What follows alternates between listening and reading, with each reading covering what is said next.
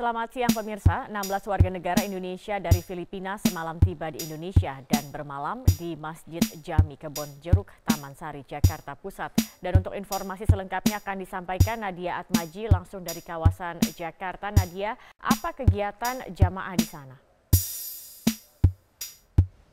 Zakia Baik, Nadia Atmaji, terima kasih atas informasi Anda. Selamat siang pemirsa, Badan Narkotika Nasional Jawa Timur menggagalkan pengiriman paket ganja seberat 1,3 kg yang dikemas dalam boneka. Ganja kering ini dipesan melalui media sosial dengan harga 4 juta rupiah. Sejumlah sekolah di Sampang, Jawa Timur terkesan tidak siap menggelar ujian nasional berbasis komputer atau UNBK yang mulai berlangsung pada Senin pagi.